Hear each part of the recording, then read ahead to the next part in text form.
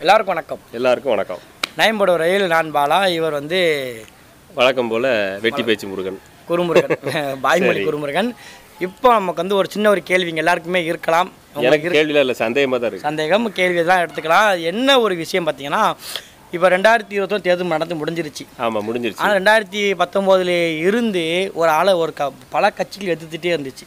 கரெக்டா ம் ஆமா. அதுவும் நாம் தமிழர் கட்சின்னு உங்களுக்கு தெரிஞ்சிருக்கும்னு நினைக்கிறேன். அந்த கட்சி இப்போ இருபத்தி ஒன்றுலேயே ஒரு சீட்டு கூட பிடிக்கல. இருபத்தி ஒன்றில் ஒரு எம்எல்ஏ கூட பிடிக்கல. ஆனாலும் இருந்தாலும் ஆக.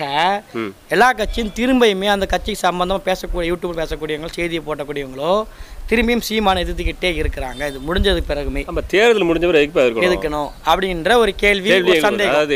அவங்களுக்கு? நடக்கும்போது எதிர்த்தா தேர்தல் பிரச்சாரத்துக்கு தேவைப்படுங்களாம் தேர்தல் முடிஞ்சு ரிசல்ட் வந்துட்டு பதவி இன்னைக்கு எடுத்துட்டாங்க எல்லாம் வந்துருச்சு.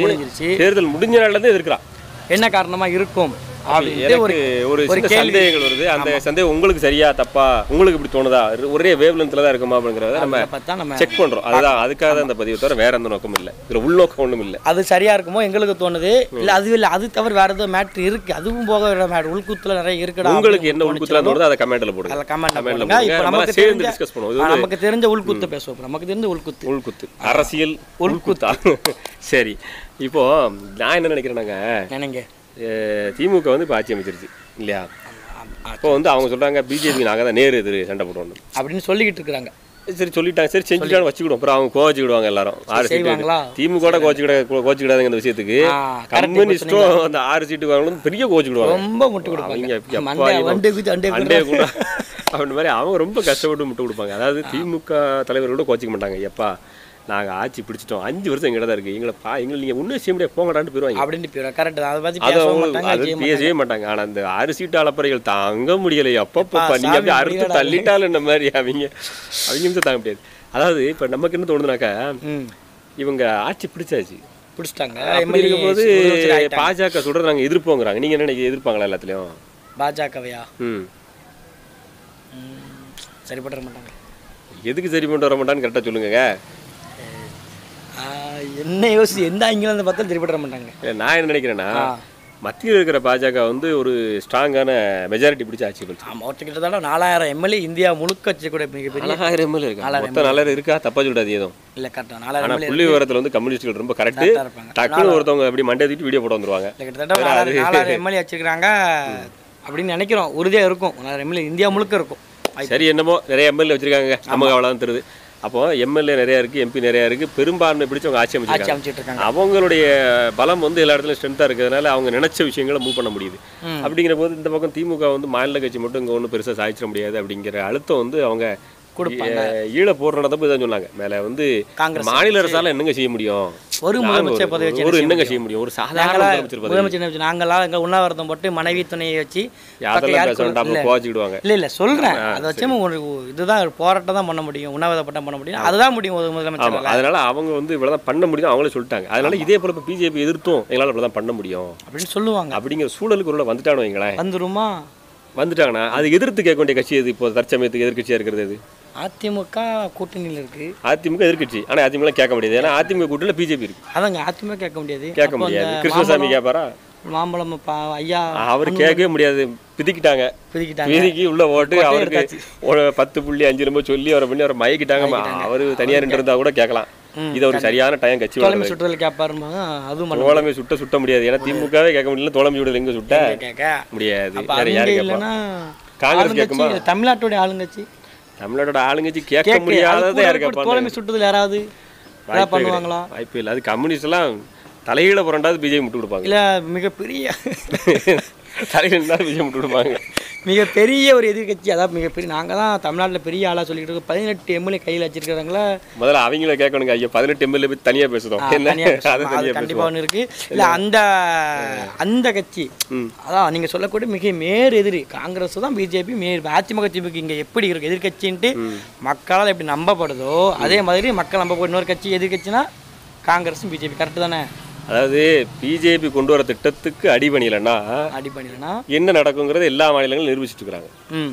அதை தமிழ்நாட்டில் நிகழ்த்துறதுக்கு அவங்க அவங்க ஒன்றும் தமிழ்நாட்டை வந்து பாரபட்சம்லாம் கட்ட அளவுக்கு பிஜேபின்னு பயந்தாங்க கிடையாது. உண்மையை சொல்ல பிஜேபி வந்து தைரியமான கட்சி தான் கண்டிப்பா. அது இப்போ ஆனால் பவர் அவங்க கிட்ட இருக்குது. நீ என்ன பெரிய ஆளா? அப்படின்னு அதுல இவங்களும் வந்து எதிர்த்து நிற்கக்கூடிய அளவுக்கு பெரிய திராணி உள்ள ஆளுகளும் கிடையாது. ஏன்னா அவங்களோட காங்கிரஸ் கூட்டணி அவங்க விருப்பப்பட்ட காங்கிரஸ் கூட்டணி இருக்கும்போதே அவங்கள உண்ணாவிரதம் தான் இருக்க முடிஞ்சுச்சு. கண்டிப்பா. சரிங்களா இவங்க விரும்பாத பாஜக கூட்டணி என்ன பண்ண என்ன பண்ண முடியும்? பாஜக கரெக்ட் அவங்க எதிர்க்கும் நீ வா நீ பதவிக்கு வா தான் காத்திருந்தேம்மா வச்சு செய்யறோம் அப்போ ஆமா கண்டிப்பா இது இவங்களால நடக்கக்கூடிய எதிர்க்கவே இயல்பு. முடியாது. நம்மளுடைய இது கிடையாங்க எடு நடக்கக்கூடிய இயல்பு. அப்பதான் நடக்கும். யூகம். இல்லை, யூகம். யூகம். அப்போ எங்களுக்கு சந்தேகம் வருது. அப்போ நினைக்கும் இப்போ இவங்களால முடியாது. முடியாது. அஹ், அதிமுக வரையும் கேட்க முடியாது. கேட்க மாட்டாங்க. செயல்பட மாட்டாங்க. அந்த கூட்டணியில் பாஜக கேட்குமா? தமிழ்நாட்டு துரோகம் பண்ணுதுன்னு இல்லை கேட்டாலும் கேட்பாங்க. திடீர்னு கேட்பாங்க. என்னங்க காவடி ஏ நம்ம நல்லவங்களாம் திடீர்னு பேர் செலக்ட் ஆயிருக்காங்களா? மக்கள் பெரும்பான்மை கொடுத்துருக்காங்கப்பா. இந்த முறை பாஜக வாய்ப்பு கொடுப்போம்னு கேட்டாலும் கேட்பான்னு நினைக்கிறேன். அதெல்லாம் அதெல்லாம் கேட்க மாட்டாங்க. அது வந்து மற்ற மாநிலத்தில் கேட்பாங்க. மற்ற மாநிலத்திற்கு பாஜக எம்எல்ஏ கரெக்டாக நீங்க சொல்றது கரெக்டு இல்லை அதை அதை இருந்து இங்க தனி வர்றதுக்கு அங்க உள்ள பாஜக எதிர்ப்பான். தனி கொடுக்காதுன்னு. ஏய், ஆமா கொடுக்கூடாதுன்னு இங்குள்ள பாஜக தொலைமை சுடுதல் பண்ணுவாங்க. அது வந்து அங்க மற்ற அப்படி செல்லுபடி அதை மாதிரி கேட்டாலுங்க கேட்பாங்கன்னு பார்த்தா இங்கே அவங்களும் கேட்க மாட்டாங்க. கேட்க மாட்டாங்க. அதான் கேட்க மாட்டாங்க. கேட்கறதுக்கு பாஜக கொண்ட ஒரு திட்டத்தை அது திமுக ஆதரிச்சா அதிமுக ஆதரிச்சா இங்க இருக்க பாஜகவோ கம்யூனிஸ்டோ தோழமை சுட்டுதல்களோ ஆதரிச்சா எதிர்த்து கேட்கறதுக்கு ஒரே ஒரு கட்சி தான் இருக்கு. சட்டமன்றத்துக்கே இருநூத்தி முப்பத்தி மூணு தொகுதியில் டெபாசிட் வாங்காத கட்சி. அப்படி. முப்பத்தி நாலு தொகுதியிலே. சரி இருநூத்தி பதினாலு தொகுதியிலும் ஜெயிக்காத கட்சிப்பா ஓ ரைட் ஆமா அது அண்ணன் அவர்தான் கேட்கணும். அதுக்கு அவர் பல பேர் வச்சோம் அப்ப அதனால தான் எல்லாரும் சீமான திட்டுறாங்க கரெக்டுங்க இப்பவே ஒரு பிஜேபி பிஜேபி அதுதாங்க அதுதாங்க. இப்போ இப்போ இவங்க ரெண்டாயிரத்தி இருபத்தொன்று ஏம் கிடையாது. அதாவது ஜெயிச்சிடும் தெரிஞ்சிருச்சு. ஆமா. ரெண்டாயிரத்தி இருபத்தி நாலு எம்பிக்கு போயிட்டாங்க கரெக்டா கரெக்ட் நீ கரெக்டா பாயிண்ட் பிடிச்சிட்டீங்க. அதான் ஒருவேளை இப்ப பிஜேபிக்கு எதிரா வந்து திமுக செயல்படுற மாதிரி இல்ல ஆதரவாவே இருக்குன்னா? ஒன்றும் கல்லாய்த்தவன் காங்கிரஸ் தெரிஞ்சிருச்சுன்னா மக்கள் காங்கிரஸ் ஓட்டு போட முடியாது. ஏன்னா காங்கிரஸ் கூட்டணியில் இருக்கு. ஆமா. ஆமா காங்கிரஸ் போட முடியாது. அதிமுக போட முடியாது. திமுக போட முடியாது. இருக்கிற ஒரே ஆப்ஷன் அப்ப நம்ம இதை வச்சா புச்சாங்க காமிச்சிருந்தோம் பிஜேபி வந்துடும் பிஜேபி அதான் நீ தான் வந்து கூட்டு வந்த? நீ அவன் தான் பிஜேபி கொண்டு வந்துருங்க நீ பிஜேபிக்கு எதிராக என்ன என்ன செயல்பாடு எடுத்த? ஒன்றும் எடுக்கல. இருக்கல அப்படிங்கும்போது ஆட்டோமேட்டிக் மக்கள் என்ன பண்ணுவா? இந்த ஒருத்தன் தனியா நின்று கத்துறான்டா. ஒரு காட்டு போய் மாதிரி கத்திட்டாங்க அவனுக்கு வாய்ப்பு கொடுக்க கொடுத்துட்டாங்கன்னா கொடுத்துட்டாங்கன்னா ஒரு நாசம். ஆ நம்ம படம் ஓடாது. மக்கள் உஷாராயிருவாங்க. அதுவும் குறிப்பா இஸ்லாமியர்கள் உஷாராயிருவாங்கிறது ரொம்ப தெளிவா தெளிவா இருக்காங்க. அதனால தான் ஏன்னா மத்தவங்க வந்து மக்கள் வந்து பொதுவான மக்கள் வந்து யோசிப்பாங்க ஏ இந்த தடவை அந்த கட்சி தடவை அந்த கட்சி. ஆனா இஸ்லாமியர்கள் வந்து என்ன செய்வாங்கன்னா ஒரு தடவை முடிவெடுத்தா மாத்த மாட்டாங்க. மாற்ற மாட்டாங்க. கரெக்ட் தொட்டு வாங்க மாட்டாங்க அதுவும் செய்ய அது மாட்டாங்க. நேர்மையா கரெக்டாக இருப்பாங்க. அப்போ வந்து யோசிக்கக்கூடிய திறமை இஸ்லாமியர் இருக்கு.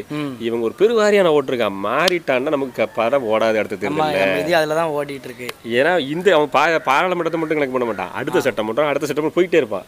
அப்போ இஸ்லாமியர்கள் பூரா சீமான் கவர் பண்ணதுக்கான சரியான டைம் இப்போ அமைஞ்சு அமைஞ்சிருச்சு. அமைஞ்சிருக்கு. நம்ம நானும் நம்ம நம்ம பிஜேபி கூட சேர்ந்துருவோம் அப்படின்னு ஒரு யூகம். அவங்களுக்கு அதனால என்ன பண்ண இப்பவே சீமான் பிஜேபி பிஜேபி பிஜேபி பதிவிடும். இப்போ சீமான் பிஜேபியா இருந்தா சீமானை எதிர்த்து அதாவது இப்போ இப்போ திமுக ஜெ பிஜேபி ஜெயிச்சக்கூடிய இடங்கள்லாம் பாருங்க. நயனார் நாகேந்திரன் எடுத்து பிஜே நம்ம நாம் தமிழர் எவ்வளோ ஓட்டு வாங்கியிருக்குது? பதினேழாயிரம் ஓட்டு வாங்கி எச். ராஜா வேத்து எவ்வளோ ஓட்டு வாங்கியிருக்கோம்? அந்த இடத்துல நம்ம கிட்டத்தட்ட பத்தொன்பது ஓட்டு காரைக்குடி நிறைய ஓட்டு வாங்கியிருக்கோம். இப்படி பிஜேபி ஜெயிச்ச இடங்கள்ல பூராம சீமான் நிறைய ஓட்டு வாங்கியிருக்காரு. அதுல ஒரு தொகுதியில் மட்டும் தான் குறைய ஓட்டு வாங்கியிருக்காரு. குறைய ஓட்டு வாங்கியிருக்காங்க. நாலாயிரத்தி முந்நூறு ஓட்டு நம்ம கோவை தெற்குல. அந்த இடத்துல கவல் டப்பு கொடுத்துருக்காரு. எப்படினாலும் ஒரு ஆல்டர்னேட்டிவ் சோர்ஸ் வந்து பிஜேபி தோற்கடிக்க வேலை பண்ணியிருக்காங்க. ஆனாலும் ஜெயிச்சிட்டாங்க. ஜெயிச்சிட்டாங்க. அது ஒன்றும் பண்ண முடியாது. கடின உழைப்பை போட்டிருக்காங்க. அப்போ ஒருவேளை பாரதி வானதி ஸ்ரீனிவாசன் ஜெயிக்க வைக்கலாம்னா அங்கே ஆள் நிப்பாட்டி இருக்க மாட்டாங்க. இருபது தொகுதி பாஜக நினைச்சா ஆமா. இருபதுலையும் ஜெயிக்கட்டும்பா. நாங்கள் பி டீம்பா அப்படின்னு ஆள் நிப்பாட்டி இருக்க மாட்டாங்க நிப்பாட்டிருக்க மாட்டாங்க. டஃப் கொடுத்துருக்க மாட்டாங்க ஆ இருந்திருக்கும். அவங்க ஜெயிக்கிறது. அச்சதை தோக்கிறதுக்கு அண்ணாமலை தோக்கிறதுக்கு எல்முருகன் தோக்கிறதுக்கு நாம் வேலை- தான் வேலை பிரிஞ்சது செஞ்சுக்க காரணம் தான். ஆமா. அப்போ வந்து பிஜேபி டீம் இவங்க இல்ல. எல்லா இடத்துலையும் ஆள் நிப்பாட்டி இருக்காங்கிறது பொதுவா இஸ்லாமியர்கள் தெரிய ஆரம்பிச்சிடும் புரிய ஆரம்பிக்கும் ஃபர்ஸ்ட் அதனால அவங்க ஓகே குரான் படிக்கிறாங்க எல்லாம் படிக்கிறாங்க கடவுள் மேல நம்பிக்கை வச்சிருக்காங்க. இது வந்து அல்லாஹ் மேல ஆணையா நான் வந்து என்ன செய்றேன்? சரியான நபரை தேர்ந்தெடுக்கிறேன்னு சீமானு ஓட்ட போட்டாங்கன்னா சுவாரி சுத்தம். முடிஞ்சது பொழப்பு முடிஞ்சது இப்பயே அது பிஜேபி பி டீம் பிஜேபின்னு இவ்வளவு கொண்டு சேர்க்குறாங்க ரெண்டாயிரத்தி இருபத்தி நாலுக்கு போயிட்டாங்க. இதைத்தான் நான் எனக்கு யோகமா தருது உங்களுக்கு என்ன தோணுதுங்க கேட்டது உங்களுக்கு என்ன தோணுது? இது வாய்ப்பு இருக்குங்க. ரெண்டாயிரத்தி இருபத்தி நாலு ஏம் பண்ணிட்டாங்க? அதாவது அரசியல்வாதி போய் அடுத்த எலெக்ஷன் தான் சந்திப்பான். யோசிப்பான். ஆமா. அது கரெக்டாக ரெண்டாயிரத்தி இருபத்தி நாலுக்கு போயிட்டாங்க அவங்க. இந்த பொழப்பு போயிட்டு இது வருஷம் ஒப்பேச்சிட்டு இருக்கோம் தமிழ்நாடு முழுக்க தான் ஒப்பேச்சிட்டு இருக்கோம். ஆனா எனக்கு என்னன்னா என்னன்னா? இவ்வளத்துக்கும் கம்யூனிஸ்ட் எப்படி முட்டு கொடுப்பான்? எனக்கு அவர் மேலேயே கண்ணா இருக்கீங்க? அதாவது ரொம்ப யோக்கியட்டு பேசுறவங்க தான் நாங்கள் இருபது ரூபாய் ஆட்டோவில் போனோம் நாங்கள் வந்து இங்கே இங்கே கழக தொண்டர்கள் அந்த அந்த கம்யூனிஸ்ட் கட்சியினுடைய தோழர்கள். தோழர். ரொம்ப நேர்மையானவங்க. நாங்க ஒரு லட்சத்தி ஐயாயிரம் ரூபாய் சம்பளம் வாங்கினாலும் நாங்க நேர்மையா இருந்தாலும் பக்கத்து டேபிள் எங்க கூட்டணி கட்சிக்காரன் கொள்ளை அடிச்சாலும் கேட்க மாட்டேன் நாங்க நேர்மையா அவன் அவன் எக்கடி கட்டணும் எங்களுக்கு அவன் கூட்டணி வச்சுக்கிடுவோம். அப்படிப்பட்ட கூட நேர்மையான இருக்கிறவன் சிகரெட் அடி தண்ணி நாசமா போ செத்து தொலை. நான் தண்ணி அடிக்க மாட்டேன். நான் நேர்மையா இருப்பேன். நேர்மையா இருப்பேன். அப்படி சொல்றா ஆனா உங்க கூட சுத்துவேன் உங்க கூட ஒன்னா இருப்பேன் ஒன்னாவே செய்வேன். உத்தம வில்லர்கள் தான் நம்ம கூட இருந்தே துரோகம் பண்ணக்கூடிய இதுதான் சொல்லுவாங்க அப்ப அது உத்தம வில்லர் அவங்க உத்தம வில்லர். உத்தம வில்லர் இவங்க தான். உத்தம வில்லன் உத்தம வில்லன். இவங்க தான் அவங்க கம்யூனிஸ்ட் இவங்க எப்படி முட்டு கொடுப்பாங்கன்னு தெரியல. அதை வருங்காலத்துல பார்ப்போம். எப்படி முட்டு கொடுக்குறாங்க ரொம்ப முட்டு கொடுப்பாங்க முரட்டு முட்டு. முட்டு. முரட்டு முட்டு கொடுப்பாங்க. ரொம்ப இருக்கணும். அது தோழமை சுட்டுதல் கொடுக்குற முட்டை விட இவங்க முட்டை பயங்கரமா இருக்கும். சரி அவராது பாவம் இப்போ ஆறு கொடுத்துட்டியே. எங்களுக்கு கொடுத்ததுலே அதிக சீட்டு. இன்னொரு வாட்டி ரெண்டு சீட் சேர்த்து கொடுங்கப்பா. ஆமா, நாலு ஜெயிச்சிருக்கேன் போதுன்னு விட்டுருவாங்க வாடா எங்களுக்கு பெரிய ஆறு நாலு தோத்து தான் ரெண்டு தான் ஜெயிச்சிருக்காங்க இவங்க. அதனால கூட கூடு அடுத்த சீட்டு கொடுப்பாங்க. அதனால பயங்கர முட்டு கொடுப்பாங்க. எனக்கு தோணுது. உங்களுக்கு என்ன தோணுதுங்க சொல்லுங்க. உங்களுக்கு என்ன தோணுது? இல்லை எனக்கு வாய்ப்பு நூறு சதவீதம் நடக்க வாய்ப்பு இருக்கு. இதுதான் பிளானாக இருக்கும் ரெண்டாயிரத்தி இருபத்தி நாலு தான் ஏம் பண்ணியிருப்பாங்க அதான் தேர்தல் முடிஞ்ச அடுத்த நாள் கத்து தான் வரும். அதுக்கு தான் அந்த பிளா பிளானுக்கு தான் பண்ணிக்கிட்டு இருக்காங்கங்கிறது.